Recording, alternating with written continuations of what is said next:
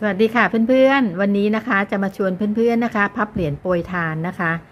จะเป็นเหรียญโปรยทานดอกแก้วเจ้าจอมค่ะ แบบนี้ค่ะ สวยงามน่ารักมากเลยนะ สวยมากๆนี้ค่ะทำไม่ยากนะคะเพื่อนๆ ริบบิ้นก็ใช้ไม่เยอะค่ะ เดี๋ยวเรามาดูด้านหลังนะ ด้านหลังแบบนี้นะคะ สวยงามน่ารักมาก ๆเลยค่ะ มือใหม่ทำได้นะคะเพื่อนๆ เดี๋ยวเรามาดูวิธีทำกันเลยค่ะ อุปกรณ์ก็จะมีนะคะ วันนี้เราใช้ริบบิ้นตา TW นะคะ จะเป็นแบบกากเพชรใสค่ะกันไกไม้บรรทัด เหรียญบาทค่ะ เราจะใช้ริบบิ้นทั้งหมด 4 เส้นนะคะเพื่อนๆ ความยาวค่ะ 40 เซนค่ะ แล้วเราจะทำการตัดปลายแหลมนะคะ เที่ยวนี้นะคะเพื่อนๆจะขอแนะนำนิดนึงว่าปลายแหลมเนี่ยอยากจะให้ตัดเป็นลักษณะนี้เลยนะคะ เพราะว่าเวลาทำกากเพชรเนี่ยนะคะ มันจะทำให้สอดยากกว่าริบบิ้นปกตินิดนึงนะคะ เลยอยากจะแนะนำให้เพื่อนๆตัดปลายแหลมออกมาเป็นลักษณะนี้นะ เสร็จแล้วเราจะจับนะคะ ปลายด้านหนึ่งให้เสมอกันนะคะ เพื่อนๆแบบนี้นะคะ แล้วทำการพับลงมาสิบเซนค่ะ เราจะพับลงมาสิบเซนนะคะ จุดที่เราพับเราจะกดบีบให้เป็นรอยเลยนะคะ แบบนี้นะ แบบนี้นะคะ หลังจากนั้นเดี๋ยวเราจะมาขึ้นฐานสี่กันนะคะ เพื่อนๆ เราจะถือเส้นที่หนึ่งไว้วางสามเส้นไว้ก่อนนะคะ แบบนี้นะ เส้นที่สองค่ะนำมาคล้องเส้นที่หนึ่งค่ะ แบบนี้นะคะ เราจะให้เส้นสั้นนะคะ อยู่ด้านบนทั้งสี่เส้นด้วยนะคะ เพื่อนๆ ส้นที่สามค่ะคล้องจากด้านล่างขึ้นด้านบนเลยนะ แบบนี้นะ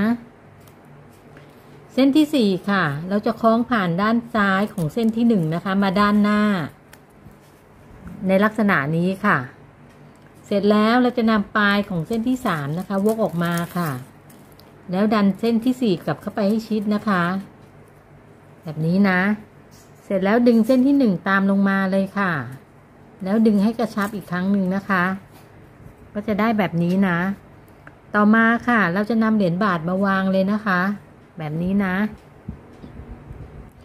เราจะนำเส้นทางด้านขวานะคะ มาด้านซ้ายเพื่อทำการล็อกเหรียญแล้วนะคะ เส้นด้านล่างพับขึ้นด้านบนค่ะ เส้นด้านซ้ายพับมาทางด้านขวา แบบนี้นะ เส้นด้านบนนะคะ เดี๋ยวเราจะสอดนะคะในจุดตรงนี้นะคะ เราจะพับสอดนะคะ ตรงนี้นะแล้วดึงนะคะ บีบให้กระชับอีกครั้งหนึ่งค่ะ แบบนี้ค่ะ เสร็จแล้วเราจะพลิกกลับด้านเลยค่ะเพื่อนๆ เราจะพับล็อกเหรียญอีกครั้งหนึ่งนะคะ โดยใช้ริบบิ้นเส้นสั้นนะคะ จับพับสอดเลยค่ะ แบบนี้นะ บีบนิดนึงแบบนี้ค่ะ หมุนมาทางซ้ายริบบิ้นด้านบนค่ะ พับสอดเก็บเลยค่ะ บีบนิดนึงค่ะ แบบนี้นะ หมุนมาทางซ้ายค่ะริบบิ้นด้านบนเส้นสั้นนะคะ พับสอดเก็บเลยค่ะ บีบนิดนึง หมุนทางซ้ายค่ะริบบิ้นด้านบนนะคะ พับสอดเก็บค่ะ ตอนนี้เราได้แบบนี้แล้วนะคะ เพื่อนๆ เราจะทำการพลิกกลับด้านค่ะ แบบนี้นะ เราจะพลิกกลับด้านนะคะ ต่อมานะคะ เดี๋ยวเราจะมาใช้เส้นด้านบนก่อนนะคะ เพื่อนๆ เราจะใช้เส้นด้านบนนะคะ จับพลิกมาทางด้านขวาลักษณะนี้นะคะ เอาใหม่นะคะ เส้นด้านบน จับพลิกมาทางด้านขวาแบบนี้ค่ะ เสร็จแล้วเราจะโค้งปลายลงด้านล่างนะคะ แล้วมาสอดด้านข้างค่ะ ก็จะออกมาลักษณะนี้นะคะทำให้ดูใหม่ครั้งนะคะ ริบบิ้นด้านบน จับพับมาทางด้านขวาลักษณะนี้นะคะ เสร็จแล้วโค้งปลายลงด้านล่าง แล้วนำปลายมาสอดด้านข้างค่ะ ค่อยๆดึงนะคะ ให้กระชับเลยนะคะ จะได้ออกมาเป็นแบบนี้นะคะเพื่อนๆ หมุนมาทางซ้ายค่ะ ริบบิ้นด้านบนนะคะ เดี๋ยวนะคะ ริบบิ้นด้านบนเราจะพับมาทางด้านขวาแบบนี้นะ เสร็จแล้วโค้งปลายมาด้านล่าง แล้วสอดด้านข้างค่ะ ค่อยๆดึงนะคะ ดึงให้กระชับด้วยนะคะก็จะได้ออกมาสองมุมแล้วนะคะ หมุนค่ะ ริบบิ้นด้านบนค่ะ พับมาทางด้านขวาลักษณะนี้นะ โค้งปลายลงด้านล่าง แล้วสอดค่ะ ค่อยๆดึงนะคะ ดึงให้กระชับแบบนี้นะ หมุนค่ะ เส้นสุดท้ายนะคะ เพื่อนๆ ตอนนี้ด้านบนมีอยู่สองเส้นนะคะ เราจะเก็บเส้นด้านบนมาพักเก็บไว้ก่อนนะคะ แล้วใช้เส้นนี้นะ เสร็จแล้วจับริบบิ้นพับมาทางด้านหน้าลักษณะนี้นะคะ โค้งปลายลงด้านล่าง แล้วสอดด้านข้างค่ะ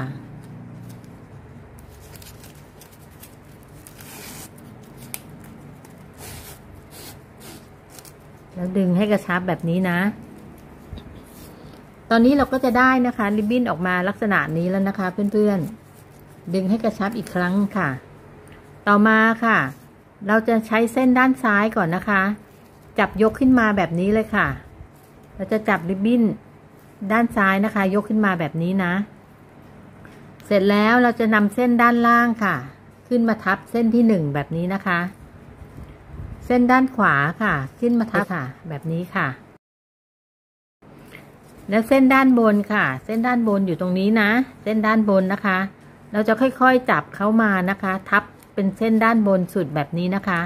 เราจะค่อยๆจับเข้าเลี้ยวมาแบบนี้นะคะ แล้วก็มาพับไว้ อยู่ด้านบนแบบนี้นะคะ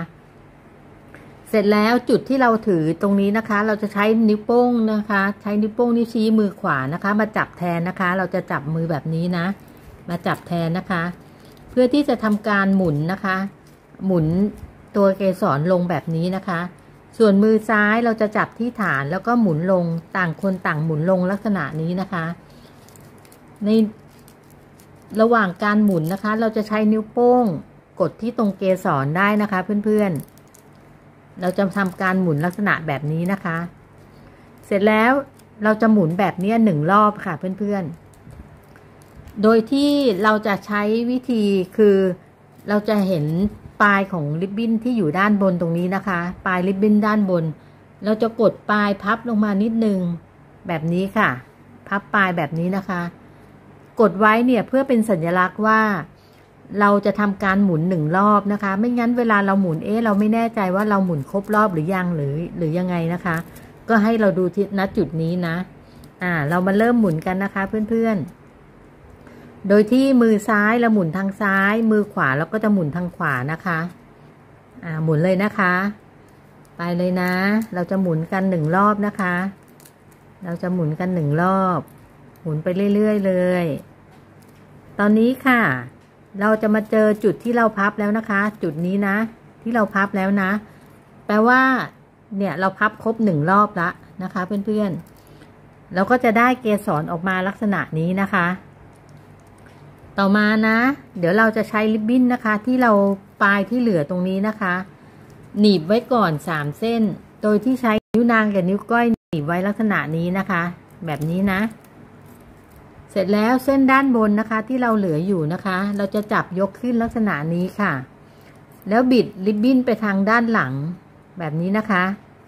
ริบบิ้นอยู่ด้านโค้งลักษณะนี้ แล้วจับริบบิ้นบิดไปทางด้านหลังเลยค่ะ เสร็จแล้วหลังจากที่เราบิดแล้วเราจะพลิกริบบิ้นกลับด้านด้วยนะคะ ลักษณะนี้ แล้วทำการสอดนะคะ จะขออธิบายจุดสอดนิดนึง เวลาเราสอดนะคะเพื่อนๆ ให้เราสังเกตปลายริบบิ้นนะคะ แล้วก็กรีบสองมุมนี้นะคะ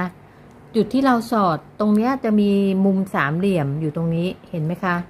เราจะทำการสอดเข้ามาในนี้นะคะ ตรงๆลงมาออกมาแบบนี้เลยนะคะ ริบบิ้นจะออกมาทางด้านล่าง เราจะสอดแบบนี้ ตั้งแต่นี้ต่อไปเราจะสอดณจุดนี้ตลอดนะคะอ่าเรามาเริ่มนะทำใหม่นะ ริบบิ้นเรายกขึ้นมาแบบนี้นะคะ เสร็จแล้วเราบิดปลายไปทางด้านหลังลักษณะนี้ค่ะ หลังจากนั้นเราจะพลิกริบบิ้นกลับด้านนะคะ พอเราพลิกริบบิ้นกลับด้านแล้ว จุดที่เราบอกนะคะ คือจุดนี้นะ เราสอดเข้ามาเลยค่ะ นับจากนี้เราจะสอดแต่จุดนี้นะคะ ริบบิ้นจะออกมาทางด้านล่างแบบนี้นะ เราค่อยๆดึงเลยค่ะ เวลาเราดึงค่ะ เราจะให้ตัวโค้งของริบบิ้นนะคะ ไปครอบครอบกับกีบที่เราทำรอบแรกกีบนี้นะคะ เราจะให้ริบบิ้นเขากดลงไปแบบนี้แล้วเราก็ค่อย ๆ ดึงให้กระชับ แบบนี้ค่ะ กีบที่เราดึงมันก็จะครอบครอบไปกีบที่เราพับรอบแรกนะคะ ก็จะออกมาเป็นลักษณะนี้นะคะ เสร็จแล้วเราจะจับปลายริบบิ้นไว้ แบบนี้แล้วหมุนมาทางซ้ายหนึ่งครั้งค่ะ นะคะ เสร็จแล้วเหมือนเดิมค่ะ นิ้วกลางนิ้วนางหนีบไว้อ๋อนิ้วนางกับนิ้วก้อยหนีบไว้นะคะ เสร็จแล้วเรายกริบบิ้นด้านบนยกขึ้นนะคะ เดี๋ยวนะริบบิ้นด้านบนยกขึ้น เสร็จแล้วเราจะพลิกริบบิ้นไปทางด้านหลังค่ะ แบบนี้จ้ะพอเราพลิกริบบิ้นไปทางด้านหลังแล้ว เราจะพลิกริบบิ้นกลับด้านอีกครั้งหนึ่งค่ะ แล้วสอดค่ะ จุดที่สอดที่บอกเมื่อสักครู่นี้นะคะ สอดตรงๆลงมาเลยค่ะริบบิ้นออกมาทางด้านล่างค่ะ แล้วค่อยๆดึงนะคะ เวลาดึงจนใกล้จะสุดแล้วเราจะจับริบบิ้นเพื่อให้มาครอบอยู่ที่กีบนะคะ แล้วก็ดึงให้กระชับ ก็จะได้ออกมาแบบนี้นะคะสองกีบแล้วนะ จับปลายริบบิ้นไว้ค่ะ แล้วหมุนมาทางด้านซ้ายหนึ่งครั้ง แล้วก็นำนิ้วนางนิ้วก้อยหนีบไว้ ยกเส้นริบบิ้นที่อยู่ด้านบนขึ้น เดี๋ยวนะคะ จะพับตรงนี้ก่อน ยกเส้นที่อยู่ด้านบนขึ้น พลิกริบบิ้นไปทางด้านหลังค่ะ แบบนี้ แล้วทำการพลิกริบบิ้นกลับด้านอีกครั้งหนึ่งค่ะ แล้วสอดค่ะ จุดที่บอกนะคะ สอดจุดที่บอกนะ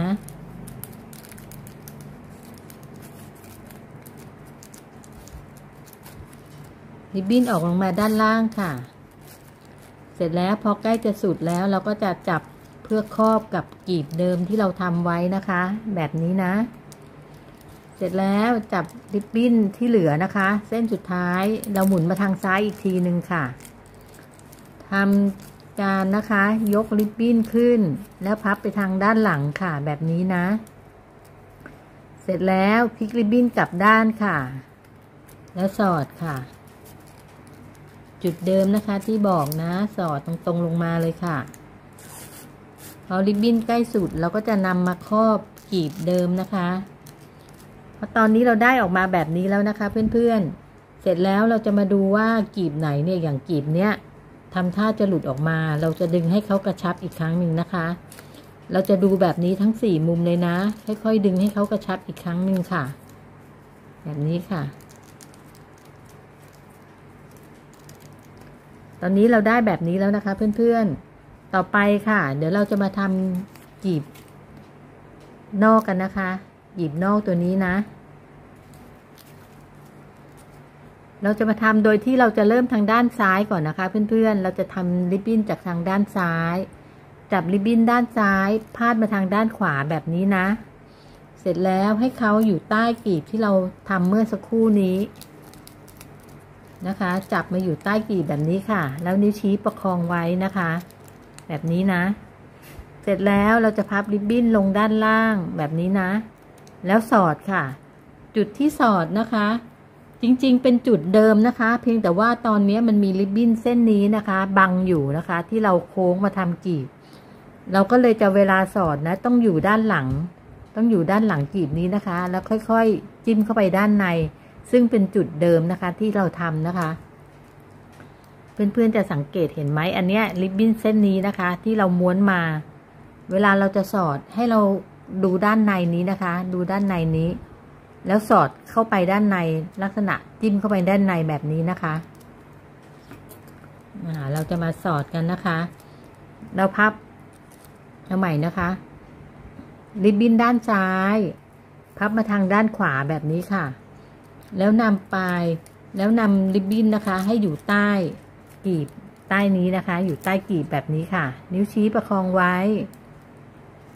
เสร็จแล้วปลายริบบิ้นเราพับลงด้านล่าง แล้วจับ จับสอดเข้ามาในช่องที่บอกนี้ตะกี้นี้เลยนะคะ สอดเข้ามาตรงๆเลยนะ จับเข้าไปข้างในลึกๆ แล้วก็สอดตรงๆลงมาค่ะ อาจจะสอดยากนิดนึงนะคะ เที่ยวนี้ดิบบิ้นจะออกมาทางด้านล่างนี้ค่ะ เห็นไหมคะ แล้วเราจะค่อยๆดึงนะ จับกีบแต่งไปด้วยนะคะ ตอนนี้ก็จะได้ออกมาลักษณะนี้นะคะเพื่อนๆ ก็จะได้ออกมาแบบนี้ค่ะ เสร็จแล้วเราหมุนมาทางซ้ายนะคะ เราจะหมุนมาทางซ้าย ใช้ริบบิ้นทางซ้ายค่ะ พาดมาทางด้านขวา แล้วให้อยู่ใต้กีบแบบนี้นะ นิ้วชี้ประคองไว้ค่ะ พลิกปลายริบบิ้นลงด้านหลัง แล้วสอดค่ะ จุดที่เดิมที่บอกนะคะ เพียงแต่อาจจะสอดยากนิดนึง ต้องค่อยๆ ดูนะคะ ค่อยๆ ดันเข้าไป เที่ยวนี้เวลาสอดนะคะ กีบนี้อาจจะบังอยู่นะคะ ให้เราเพเยอกีบมา เพเยอกีบปุ๊บเราก็จะเห็นริบบิ้นที่จะออกมานะคะ แล้วเราก็ทำการดึงค่ะ เพราะว่าเส้นริบบิ้นกีบตรงนี้อาจจะบังอยู่ แล้วเราก็ดึงนะคะ ค่อยๆดึงจับกีบไปด้วยแล้วก็ดึงนะคะ แบบนี้ค่ะ ก็จะมาสองกีบแล้วนะคะ หมุนมาทางซ้ายค่ะริบบิ้นทางซ้ายจับมาทางด้านขวา แล้วทำให้อยู่พับไม่ให้อยู่ใต้กีบแบบนี้นะ เสร็จแล้วปลายริบบิ้นโค้งลงด้านหลังแบบนี้นะ ปลายริบบิ้นโค้งลงด้านหลัง แล้วสอดค่ะ สอดจุดที่บอกนะคะ อาจจะสอดยากนิดนึง หลังจากสอดแล้วเราก็จะมาดูที่กีบตรงนี้ด้วยนะ ก็จะออกมาแล้วนะคะริบบิ้นก็จะออกมาทางด้านล่าง แล้วเราก็จะดึงค่ะ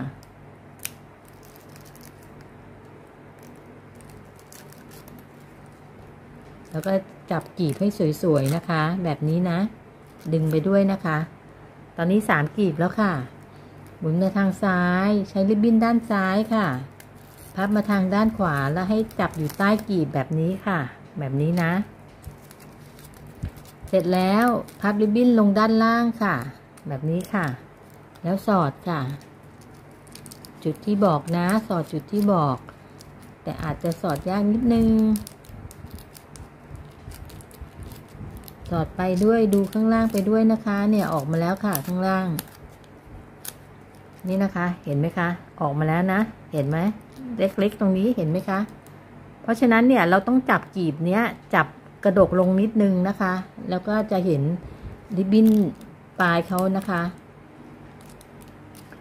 ตอนนี้เราก็จะได้แบบนี้แล้วเราก็จะจับตกแต่งอีกสักนิดนึงนะคะ เพื่อนๆ ดูว่าตรงไหนหลวมไปไหม นะคะ หลวมไปไหมครับไปไหมนะคะ อย่างกีบเนี้ยดูแล้วอาจจะแน่นไปนิดนึง เราก็จะดึงออกมาได้ แบบนี้นะคะ พอได้แบบนี้แล้วเราก็จะทำการตัดนะคะเพื่อนๆ มันจะมีกีบนี้นะคะ กีบนี้เขาจะโค้งอยู่ด้านบนนะคะ เพราะฉะนั้นเวลาเราตัดเราจะตะแคงแบบนี้ แล้วก็ตัดแนวตามแนวตรง แต่ก็ต้องระวังโดนกีบอื่นนะคะ เราจะตัดแบบนี้นะคะ ลักษณะการตัดเราจะจับตัดแบบนี้ หมุนนะคะ เราจะกดริบบิ้นด้านล่างกีบเนี้ยออกไปนิดนึง แล้วก็ทำการตัดค่ะ ซึ่งตรงเนี้ยอาจจะตัดยากนิดนึงนะคะ แบบนี้นะ ค่อยๆตัดไปนะคะอ่าตอนนี้เราตัดกีบที่แนวยากแนวตรงออกไปแล้วนะคะ ที่เหลือเราก็จะมาตัดกีบด้านหลังอันนี้ค่ะ โดยพลิกมาท่านด้านหลัง แล้วตัดเลยนะคะ ก็จะตัดอันนี้ตัดไม่ยากแล้วค่ะ เสร็จแล้วค่ะเพื่อนๆ เหรียญโปรยทานนะคะ ดอกแก้วเจ้าจอมค่ะ สวยงามมากๆเลยนะ เพื่อนๆ แบบนี้นะทำง่ายๆนะคะ เพื่อนๆ ไม่ยากนะคะ มือใหม่ทำได้นะ ถ้าตรงไหนไม่เข้าใจฝากเพื่อนๆเม้นมาถามได้นะคะ คลิปนี้ขอจบแต่เพียงเท่านี้นะคะ ฝากเพื่อนๆ กดติดตาม กดไลค์ กดแชร์ เพื่อเป็นกำลังใจในการทำคลิปด้วยนะคะ ขอบคุณมากค่ะ สวัสดีค่ะ